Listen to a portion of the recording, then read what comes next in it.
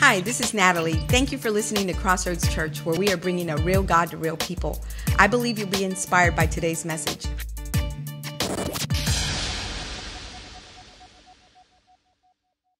Uh, we are continuing a series on honor that we began last week. Uh, if you weren't here, let me just simplify the definition and what we're using um, as a definition for honor, which I think will um, make sense here in just a little bit. But basically, the word honor, when you take a look at all the different categories, you can look at all the dictionaries, you can look at all the Greek texts, and basically what it amounts to, it's a valuing. I value, I value something, to value something. Scripture has a whole lot to say about what we value. We're to value, obviously, one another, respect one another, right? We're to value our parents. We're to honor our parents. Am I right, students? One student said that. We're to honor God's word. We're to honor God's word. We're to honor elders. We're to honor those who are in authority, who are ministering God's word. As a matter of fact, the scripture talks about giving double honor to individuals. We're to honor those who are in authority. The scripture has a lot to say about honor. And uh, we're taking a look at that topic and just kind of running deep in, um, yay, let there be light. Uh, but today, I, I want to give you something that I think here, here's, here's what I'm going to do is give you something that settles me. Um, you know, whenever we face things like we're facing, uh, things that, you know, you got decisions to make, uh, people and news and media and friends and politics, they're constantly pulling you. Students, you're going to go into college, you're going to go back into school, and there's a pull that's constantly going on. Uh, and you'll find yourself among friends and as you are walking with them, you realize, like, man, that's probably not the crowd I need to be with uh, because I was brought a different way. And I need to honor and respect my parents and their wishes. And uh, so you'll make this decisions. And, and as adults, that never stops, does it? We find ourselves in different places with different people. We find ourselves watching news. We find ourselves looking at our country, looking at our climate, and uh, people, we're, we're being pulled one way or another. And it's very easy for us to get lost in the maze. It's very easy to get lost with all the rhetoric and all the, in this cloud, especially when things like COVID, um, you know, 19 are, are hitting us right here in our city, in our community. People that we know, friends, are either sick or dying or have died. Police officers just died down in McAllen earlier a few hours ago. And so we, we wonder and we, we're, we're trying to navigate through these troubled waters. And uh, I don't know about you, but I have found myself in conflict, touring on the inside. And uh, I'm wondering, like, what decisions do I make? And, and I'm, you know, because most of us are, are people pleasers. Uh, sometimes we're like, man, if we do this, then these people are going to get upset. And if we make this decision, this is what's going to happen with my other relationships. And we're in conflict. But this morning, I want to settle all that and help you to honor something that's more important than anything that you'll find on this earth. It's eternal, it's a perspective from heaven. We're to honor, if anything, honor God's word above anything else than you hear that goes contrary to his values and his system. Amen? One amen. You get it if there's anything that settles me in my heart whenever I'm troubled and I'm wondering, man, what's the right decision to make?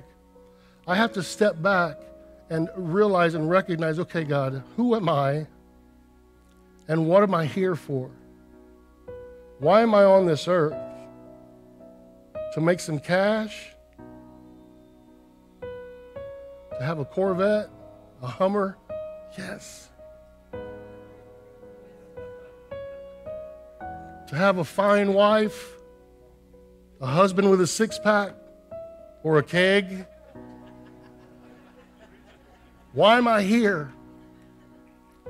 And there's decisions that we're making, and all of a sudden, when I'm in the middle of the chaos, finally something settles me, and it's His Word and His reason for me being here on this earth.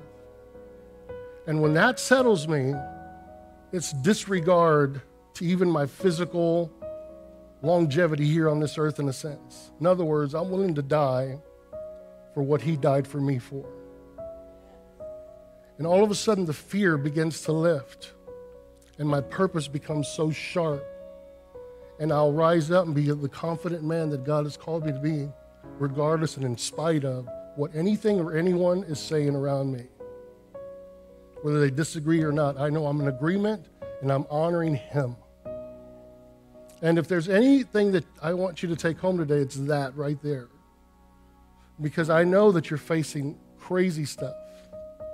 And you're looking for direction and you're looking for answers and you're wondering, is this the end of the world? And you're wondering, man, I wonder what's going to happen to, to mom or to uncle or, or what, why did this happen to us? And I want, you to, I want you to be settled today before you walk or when you walk out of these doors that there's a higher purpose, that you might be looking at something that, yes, it's affecting you, but it's, it's temporary and it's, and, it's, and it's here on this earth, but there's something that's eternal that I want you to get your gaze on. And it's honoring God's word above anything else. Amen? And I know we talked about that, and I know it's a simple message, and I can go home right now and just say, Amen. Let's just sing another song and close. But Jesus faced a very similar situation when he was here on this earth. Um, he was right in the middle of a great divide also. He was right in the middle of uh, a, a middle of a, a pandemic, so to speak. There's a racial divide, there's a cultural divide. His disciples were divided, but he was focused. And he did something that I want to share with you today from John's Gospel, the 17th chapter. He prayed a prayer, and he prayed for you, and he prayed for me, and he prayed for this generation. And he goes, Hey, in the middle of all this, I see what's ahead. And if you just hold on and remind yourself of what I prayed for, and remember why I prayed this, the reason why I prayed this, you can be settled in the middle of what we're facing today. But before we get into that, I have to ask you a question. It's a very simple question, it's a pointed question, but it's really going to challenge your beliefs. It's really going to challenge whether or not you're really a true follower of Jesus. Okay? How many guys can agree that we are in a nation that's divided right now? Right? I mean, COVID 19 has divided all of us. Wear a mask, some don't wear a mask. Go to church, some don't sing in church, some do sing in church. You're not supposed to hug, oh, it doesn't matter. Hug anybody. There's a COVID divide that's taken place. People are wondering whether or not to take that hydroxychloroquine or whatever that is, or like my grandma just says, Mijo, just take Vicks and Sprite. You'll be okay. I don't even know what the hydroxychloride is. It, you know, it's like Comet or something. I don't know what it is. But Vicks and Sprite have done well for me. There's a racial divide after the murder of, death, of Floyd, George Floyd, there's protests that are happening right now, even today, in the you know riots, turning into children being shot. A great divide among parents. Black Lives Matter movement is taking place. And most people don't even know what that is. Well, don't white lives matter? Don't Mexican lives matter? Well, yeah, but all lives matter, but that's not the issue that's at hand right now. And so they're making a statement. I got a lot of black brothers. Uh, uh, four of my elders are, are black. And I had to sit down with them and talk to them. And I was so glad I did because I saw a perspective that I never saw before. And I, I thought I was close to them, and I am close to them. But little did I know what they actually were, how they were living, and what was going on in their lives. And it caused great empathy in my heart towards them there's anything that came out of that conversation was a love and a respect for people of other races. There are American history right before us. There's statues that are being torn down in the name of freedom. The Republicans are right. The Democrats are right. You know, Bernie's right. I don't know who's right. There's just a kind, all kinds, and the church is right in the middle of it all, being threatened. And what I love about this church is that I look around the room and I see black, and I see white, and I see Hispanic, and I see Asian, and I see every other color, every other race, all these things, we're all coming under one name, and it's not a Democratic name or a Republican name, it's, it's the name of the Lord Jesus Christ. And that's the beauty of it. And you know what? Jesus saw that too. And because Jesus saw that, he recognized that. Wait, listen, guys, this is way bigger, way larger than you can ever, ever imagine. Therefore, what he prayed and what, why he prayed it is so vitally important this morning that we just got to look at it real briefly and share some things uh, here this morning. Is that all right? And um, I want you to understand this question that I'm going to challenge you with is this Are you willing? You can put that up. Are you willing to evaluate your politics, your beliefs? You can. The only reason I put politics up here is because anytime you you, you watch the news, whether it's COVID or whatever it is, it's always connected to a party. You know what I'm saying? Trump did this. No, you know, it's just, it's crazy. And so that's the reason why I'm here. I usually stay away from politics, but when the teachings of Jesus intersect uh, with what's, what, what, what this world is struggling with, I've got an opportunity to say something. And I'm so glad I can talk about politics today. And so, whenever you're really willing to do this, we're not talking about just casually do this. Oh, I, you know, I, I, I, I, I, I agree. I disagree. I agree to disagree. I, you know, I, I value diversity. But are you willing to live this way? This challenges our Christianity. To, to, to look at your situation, to look at even this in the, through the filter of your faith, and lay aside some of these things. in other words, in the simple terms, are you willing to follow Jesus? Because Jesus himself, in his time, he also, you'll see that he disagreed with the politics or the rhetoric of that day, but yet he still loved unconditionally.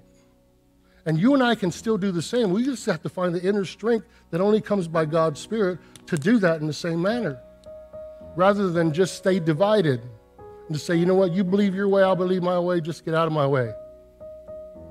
We see a lot of that happen. it's quiet in this Presbyterian church. John 17 is where we're going to begin. This is right after the Passover meal right after Jesus has a meal with the disciples, and he takes a towel and he begins to serve them. You remember that? And then he says, Listen, I want you to do something. I'm doing this as an example so that you can do the same because I'm about to leave here. And you're going to have to carry this message on. And you're going to face all kinds of opposition. You're going to be bloodied up. You're going to be massacred. You're going to be, you know, you're going to be hurt. And this is like year three already. And some of you are going to die for this, for my sake. Now, I'm sure some of the disciples were thinking, like, man, I wish you'd have told me year one. Maybe I'd have, you know, made a different decision. He serves them. And he says, I'm giving you an example to do to others what I have done to you. You have to remember that Jesus was the most powerful person in that room. He, was, he knew where he was going, he knew where he came from, and he had all authority, and he was the man in authority. And what did he do with when you're the most powerful person in the room? What do you do with that? How do you leverage your power? How do you leverage your influence? If you're the dad in the home, how do you leverage your authority? Well, Jesus gave us, gave us an example. He got on his knees and he served others in the middle of it. And I love this prayer. So we're going to go right here in John 17. It's a simple, simple prayer. And it goes like this John 17, 1. Father, Jesus spoke these words. He lifted up his eyes to heaven. He said, Father, the hour has come. Glorify your Son. In other words, put a shine a light upon me just expose this for who I am. Expose me for who I am and let people see who I really am and what I'm really about. Pour that light upon me. He says, Glorify your Son, that your Son may glorify you. lift me up in such a way that people will recognize me and why I'm here, why I came on this earth. The hour has come, he said. And the hour that he's talking about is the hour that's about to take place. It's not, it, it, it's, the, it's the place where he would be the most glorified. And the most glorified moment in his life is not a happy moment. It's not when he's feeding 5,000. It's not when there's miracles all around. The most glorified moment in the life of Jesus was when there's panic and fear and horror all around him. It was a cross. He says, Glorify me in this hour. Glorify your Son, that your Son may also glorify you. But notice how he prays. He says, I have a prayer request, God. I'm going to remain here Go to the next one real quick. Now that I'm no longer in this world, but these are in the world, I'm, I'm coming to you. In other words, I'm about to leave. I'm about to be gone. Go ahead and go on to the next one.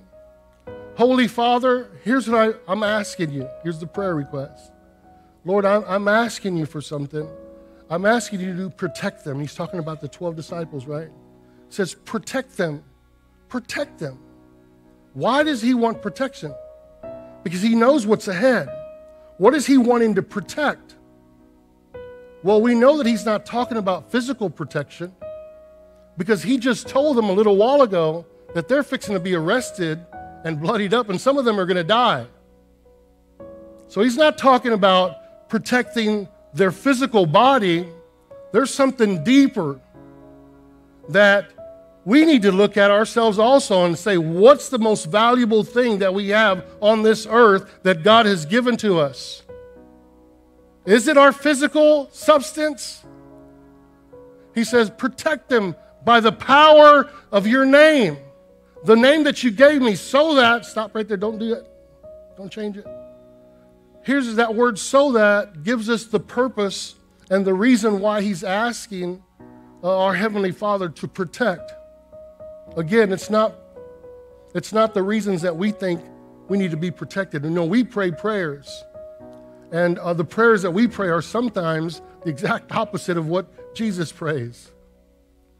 And this morning, I hope my eyes and our eyes will enlighten up so that we begin to see the things that were most concerning to Jesus are the things that should be the most concerning to us. And if that's the case, then we would begin to pray the same things that Jesus was praying in this moment and in this hour. Because what I'm finding out in my own life, and I'm convicted, what I'm finding out in the life of others that I'm around, that the prayers that we're praying today are not necessarily the same things that Jesus was praying in the middle of diversity, in the middle of chaos, in the middle of horror. He's saying, protect them by the power of your name, the name that you gave me, so that, one reason, go ahead, go, that they may be one as we are one. He says, protect them so that we could become one. That was the prayer, request for the first century followers. Oh, I can't do that.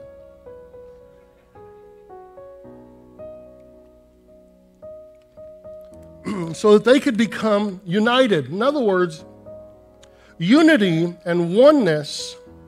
Listen, students, you know this is what happens in your school.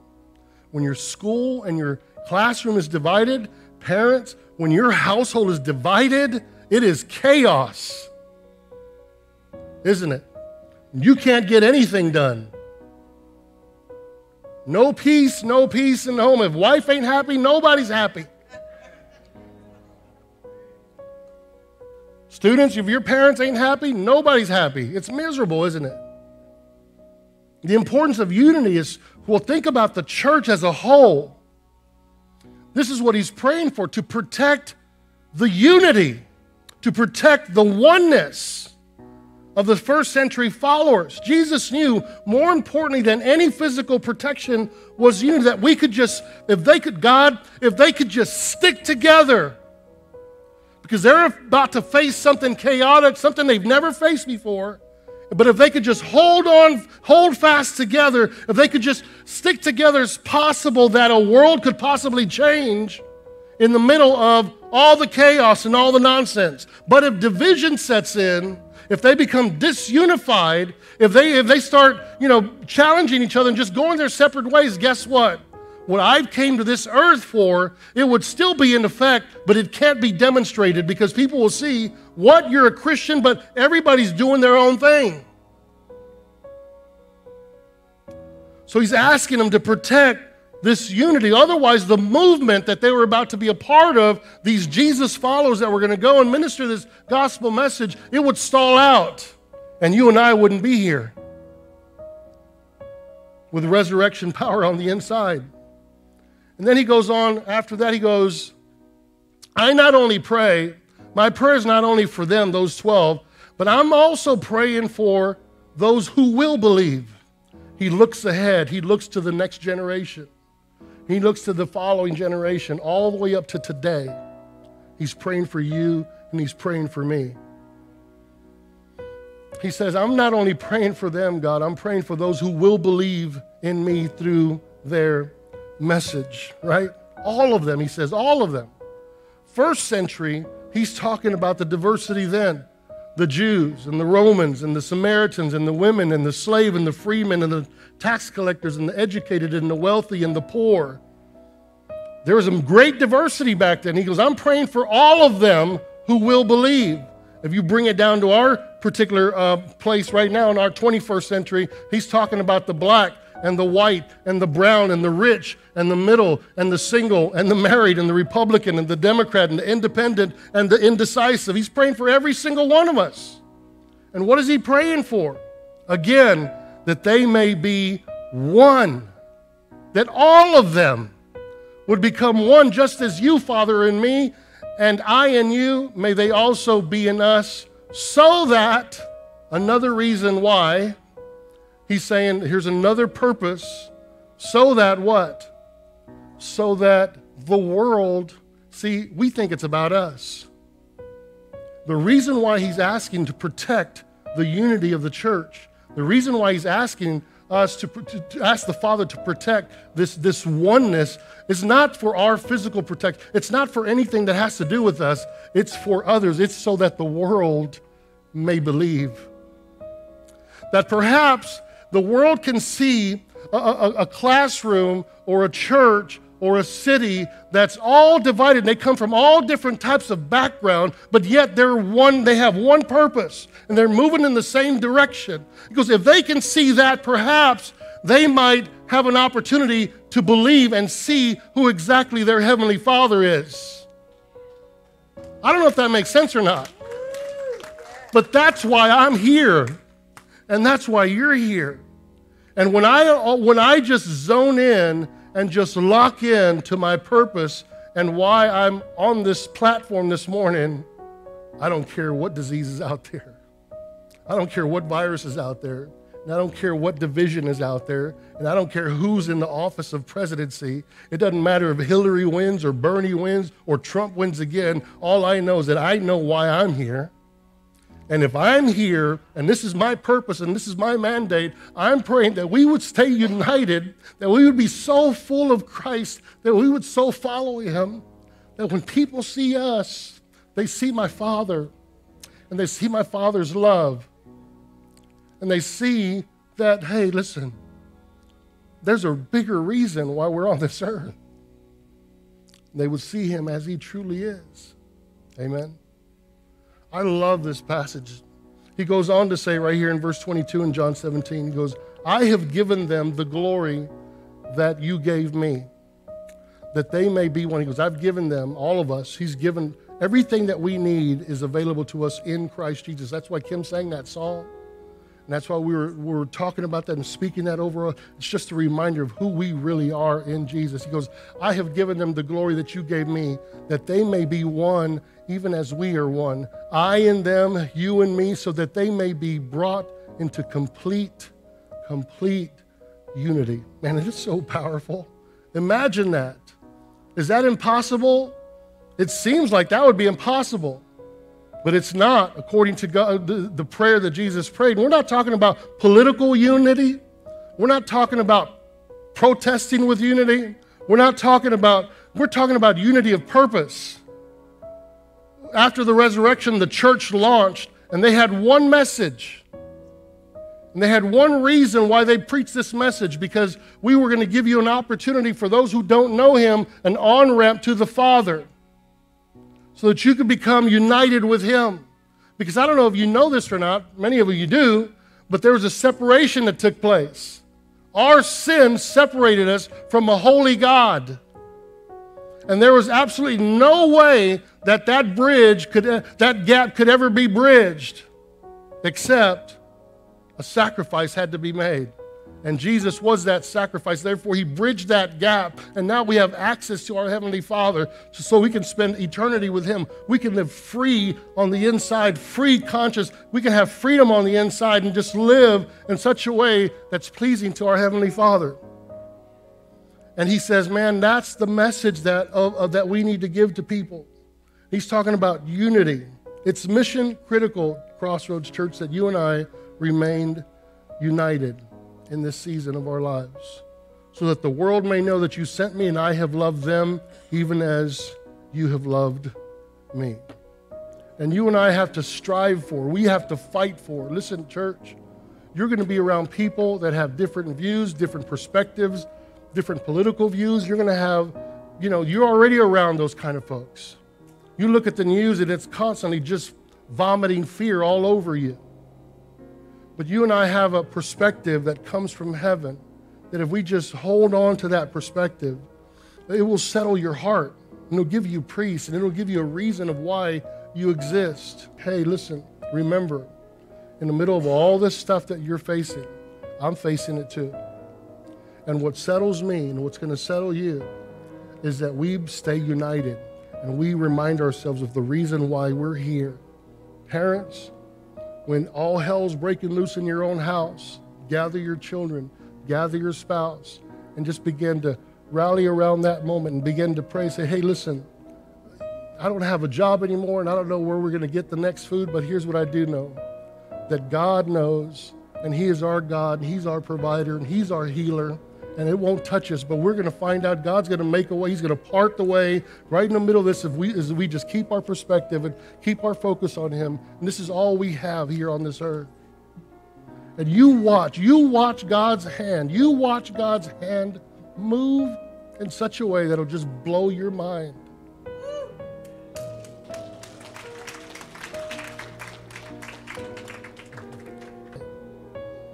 When we honored God's word, and we stood up for the king, the king stood up for us. And he always provided. He always made provision about. He always gave us a word in season. He always took us to the next place. And guess what? You don't look at me. I'm not skinny. I'm you know he he's always fed me. And he'll do the same for you. There's no need to fear. He's waymaker. He's miracle worker. He's mighty God. He's the God that's more than enough. He owns all the cattle on a thousand hills. And guess what? He's your Savior. He's your God. He's your Father. He's your Father. Do not fear. Only believe. Only believe. Amen. Let's all stand real quick. You are here, moving in our midst worship you, worship you. You are here, moving in this place. If you have those words, put them on the screen, okay? Worship you. It's Waymaker. Worship you. Yes. Waymaker, miracle worker, promise keeper If you are ever in the Seguin area, come visit us on Sunday mornings at 9 or 11 a.m. Or you can just download our app and receive our weekly messages right to your phone. Just text CC Seguin to 77977 and click on the link that you receive. May the remainder of your week be enriched with God's favor and blessings.